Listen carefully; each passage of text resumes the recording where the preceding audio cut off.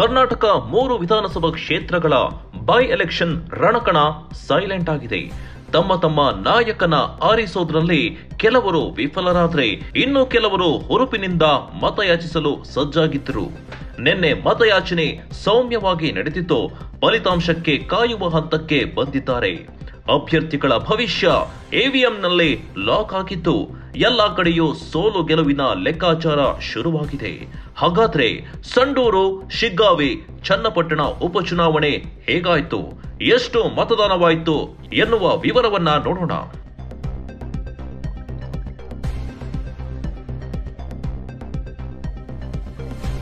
ಚನ್ನಪಟ್ಟಣ, ಸಂಡೂರು, ಶಿಗ್ಗಾವಿ ಕ್ಷೇತ್ರದಲ್ಲಿ by election ನಡೆದಿತ್ತು. ಮತದಾನದೊಂದಿಗೆ mini ಯುದ್ಧ ಅಂತ್ಯವಾಗಿದೆ. ಯುದ್ಧ ಅಂತ್ಯವಾದ್ರೂ ಯುದ್ಧದಲ್ಲಿ ಗೆಲ್ಲುವವರು ಯಾರು, ಸೋಲುವವರು ಯಾರು ಎನ್ನುವುದು ಗೊತ್ತಾಗಬೇಕಾಗಿದೆ. ಅಂದ್ರೆ ಇನ್ನು ಹತ್ತು ದಿನ ಅಂದ್ರೆ ನವೆಂಬರ್ ಇಪ್ಪತ್ತ ಮೂರರವರೆಗೆ ಕಾಯಲೇಬೇಕು. ಅಷ್ಟಕ್ಕೂ ಮೂರು ಕ್ಷೇತ್ರದಲ್ಲಿ ಬಹುತೇಕ ಶಾಂತಿಯುತ ಮತದಾನ ಆಗಿದ್ದು, ಮತ ಪ್ರಮಾಣ ಕೂಡ ಹೆಚ್ಚಾಗಿದೆ. ತೀವ್ರ ಜಿದ್ದಾಜಿದ್ದಿನ ಅಖಾಡದಲ್ಲಿ ಮಾರ್ಪಟ್ಟಿದ್ದ ಚನ್ನಪಟ್ಟಣದಲ್ಲಿ ಬರೋಬ್ಬರಿ ಎಂಬತ್ತೆಂಟರಷ್ಟು ಮತದಾನ ಆಗಿದೆ.